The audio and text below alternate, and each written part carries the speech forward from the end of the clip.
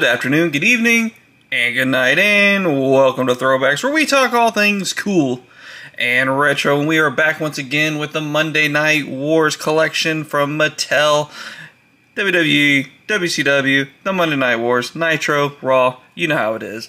Um, this is the newest set hitting Walmart. Uh, I picked this up. It's been a little bit uh, of time at this point, uh, but had such a backlog that we're just now getting to it, and I am excited to get to it as uh, this is my favorite thing going on right now are these Monday Night Wars guys. So definitely, definitely excited. Uh, check out our. Um, toy hunt video from this past weekend. You'll see me get off the cruise ship and find these bad boys um, the day I stepped off the boat, and it was a very, very good welcome home party to have these guys. So uh, we're gonna unbox these guys, build the build a figure, and then we're gonna rank every single one of these. So stick tight and let's get to it.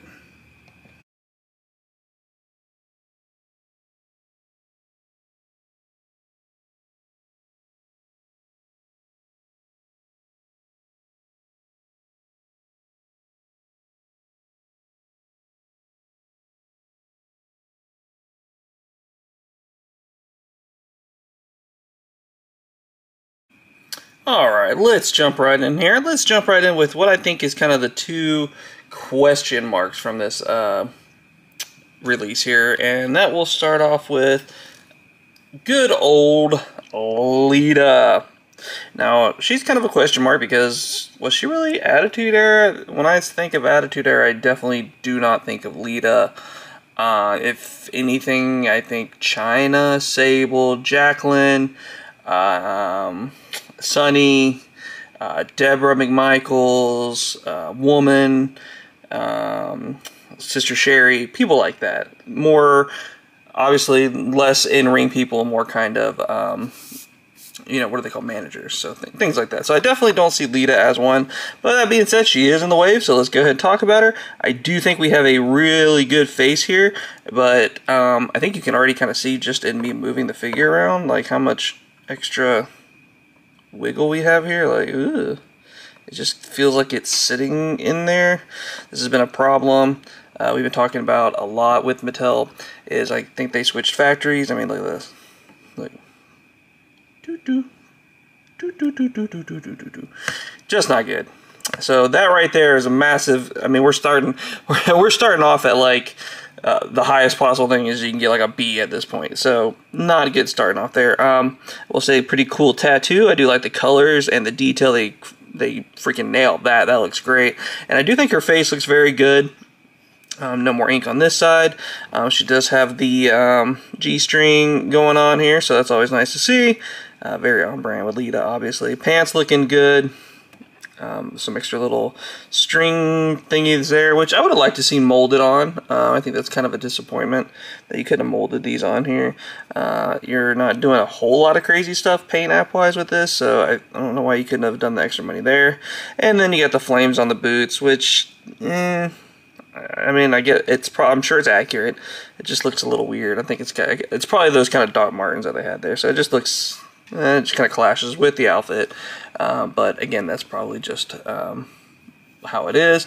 And then I do have a little goober here plastic-wise, um, which I think that can probably just peel right off. So peels right off, no issue there. But again, that's kind of kind of the theme with Mattel recently has been just kind of quality control. Like that shouldn't be hanging out on the back of a figure. Like it just shouldn't be. Overall, I'm gonna give this. Eh, this is a solid C minus. Um, it is what it is. Um, also, I should talk about the accessory because that's that's that's part of the C minus here, and that is when WWE slash Mattel does these cheap, cheap garbage, a word. You know what? Garbage ass plastic. Sorry, kids, if you hear this, you've been watching TV at all. Garbage ass titles. Look at these things. These are just garbage. Little plat. Like this is an elite figure. I'm sorry. Like this should not be this should not be happening. This is not a new mold. This is nothing new. Give us the actual thing. This WWE blue looks like crap. Garbage. Absolute garbage. Do better, Mattel. Ugh. Frustrating. Alright, and then we got our second one.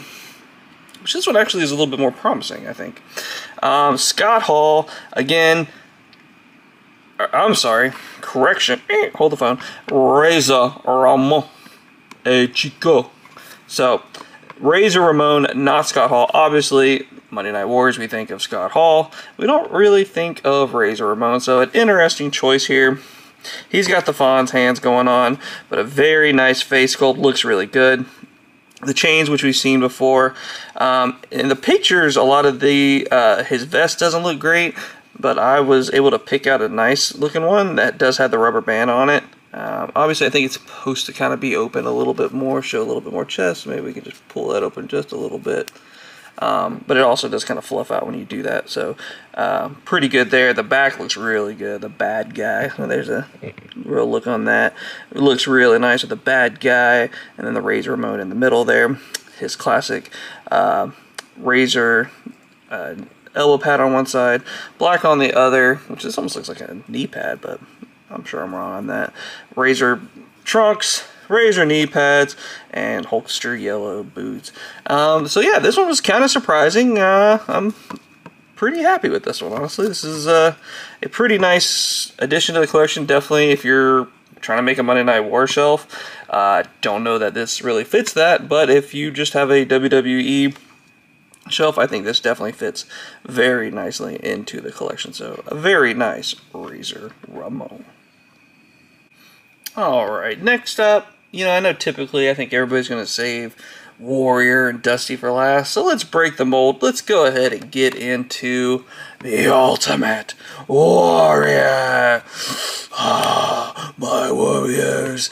I had a three month run in WCW, and now I have two figures. Okay, that was my impression. There we go.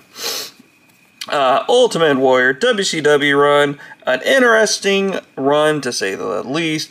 Um, this came from, this was supposed to be a part of the uh, Nitro set that we didn't get. Thank you, Mattel, for screwing that up as well. Um, one of the most wanted things I ever had, and it didn't happen because they had poor figure choices. I think this was like the last unlockable goal, um, and obviously this is the most popular figure in this wave. Go figure. Um, I was able to get a no crazy neck warrior here, so I was lucky there. I know a lot of people have getting the giraffe neck on this warrior.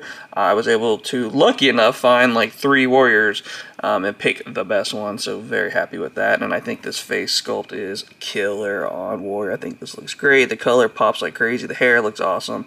Just really neat overall. We'll get into his uh, duster here in just a minute. Obviously looking jacked and tan as a warrior should. A nice belt buckle, nice and shiny going on there. Uh, jeans, not looking too jeany, no extra wash or anything like that. Um, but for some reason it kind of works with this one. Uh, I think that it looks just fine actually. I think this is okay. For some reason the colors end up matching up and it looks pretty good. And then you have these really cool warrior belts. So you've got, uh, uh, what was I say? Oh, for some reason I was seeing that was an R. Ultimate, duh, warrior and Warrior Ultimate. So that's interesting. That that's kind of Ultimate Warrior, Ultimate Warrior. No, I am seeing all sorts of weird things today. Anyhow, so that looks good. Sorry, guys. Um, and then on to the Duster, man. This Duster's cool, man. Look at this guy. Very neat. Let's pull this out, kind of straighten him out a little bit. There we go. Very cool. Ultimate Warrior. Look at that. I know the other his other duster from this actual match at Halloween Havoc with Hogan. Uh, I'm pretty sure it has WCW written on it and things like that, so that looks pretty cool. But this thing's rad. Almost has a uh, Sabretooth look to it. Um, you know the uh, Marvel character, X Men character, almost has a Sabretooth look to him. Very neat there. Oh, starting to rain outside. But very cool. I mean I, I see why this is a, a, pretty popular one, but I also am lucky and didn't get the uh, giraffe neck here. So, and his neck is pretty. Eh, eh, no, you know what? It is pretty. It is a little wiggly, but for some reason it, it feels a little better. So, not too shabby there with the Ultimate Warrior throwing hands. We're having a good time. Then we have an underrated figure, I think, just by looking at this. And this is good old Six Pack we got a new face scan there on uh, Sean Waltman. Six Pack looks really, really good. And I love, love, love that we got this attire. This is obviously very early. Um, attire in WCW. One thing, and it's such a small thing, but to me it makes such a big difference, are these knee pads. They went the extra mile to do the knee pads because I think you had like almost like a hard shell knee pad here, and I think that makes the world of difference with this figure just looks really good um, and very very happy um, about it so it looks really nice. Um, if you see my Vader review which I think only like 20 of you did uh, I was a little late to the show kind of like I'm a little late to the show on this one too. Um, on his knees, they just painted circles on it when his knees also had a different kind of knee pad and they kind of cheaped out on an Ultimate. So I'm glad to see that they did not cheap out with Six Pack here. Uh, I guess maybe because they didn't have to go crazy on colors. They were able to save. I don't know, but I think this looks great. Um, definitely an awesome face that you could pull and put on your other uh, 6-Pacs or your other uh, X-Pacs if you want to. Uh, probably not a one, two, three kid. I don't. I wouldn't think so. Maybe shave some eyebrows off, then you'll be good there. But this is actually a very nice figure, but um, pretty cool there. I'm gonna get these guys all posed out. I'm gonna build a Dusty. We're gonna rank these guys, and we'll finish up with our final thoughts on the Monday Night Wars wave. Alright, ladies and gentlemen, we got the American Dream, got the roll in its full-on NWO attire. Here we got the rest of the group, we got the build figure, we got the other four guys, we got the full wave. I think this is wave four of the Monday Night Wars. Um, I will say this is a great lineup, but I think we have some serious serious quality control issues going on in Mattel right now, um, and it's really, really hurting these figures. Um, another example that we will talk about here in just a minute is Dusty, but let's go ahead and get to our rankings. Let's plow that out. This has been a pretty long video already, so thank you guys for hanging out if you've made it this far. Uh, do us a favor, go ahead and like, comment, and subscribe to the channel as we post new content every single day. But now let's rank these bad boys. Let's not waste any time. We're going to start right off the bat with Lita. Um, just a poor figure. Uh, very loosey-goosey. Um, very awkward stiff joints over here. Um, head's a little too wiggly, feels awkward on the peg. Just, eh, just not a great figure for me. Not one that I really wanted. Not one that I really liked, but needed it. So uh, we're going to go with Lita as the number five pick here. And let's not forget about that belt. Alright, what's next? Um, man. I've got to be true to myself, and that's going to be Dusty. I think Dusty um, has too many bad things going on with him. Again, we're going to talk about quality control. Just putting these hands on, and look at this. Look at that. That's just that's just unacceptable. Like, what are we doing? What are we doing, Mattel? I know it's a Build-A-Figure, but come on. Like, this is just insane. Besides that, let's get a shirt. Come on, I know, I know, I get it. You have to make a new shirt mold.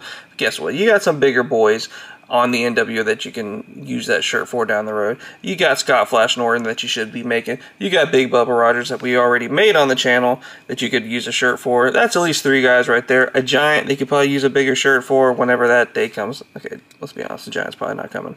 Um, Brian Adams maybe. Oh, there you go. A bigger shirt. Um, I think this is a cheap cheap way of doing it. This is also a very hollow plastic in here. You can almost hear the echo going on there.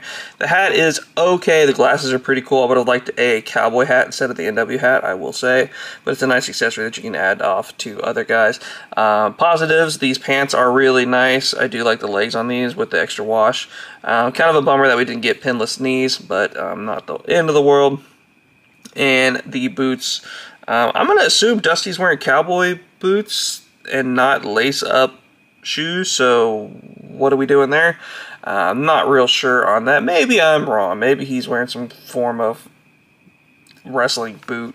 I don't know. But so he's going to come in at number four.